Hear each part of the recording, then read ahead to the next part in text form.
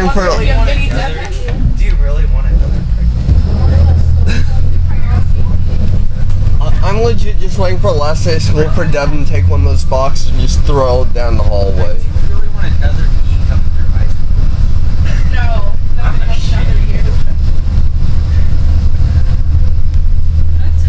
Haley. I'm just waiting for last day school for Devin to bring the whole box and just start dropping them throughout the hallway.